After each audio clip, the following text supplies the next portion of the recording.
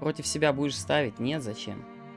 Буду... Зачем? Я представляю букмекер, зачем мне ставить против себя? Сколько мне надо поставить против себя, чтобы мне это было выгодно? Просто вдумайся. Я тебе что, соло, что ли, 300 баксов ставить? Если там ставить, там, сколько мне... Вот ты, ты просто вдумайся, то есть за сколько я готов заморать репутацию, поставив, блядь, против себя? Что это должна быть за сумма?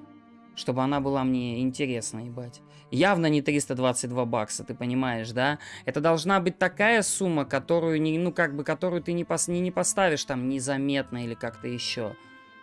Это как бы забей, дядь. Поэтому, ну чё, чё смеяться?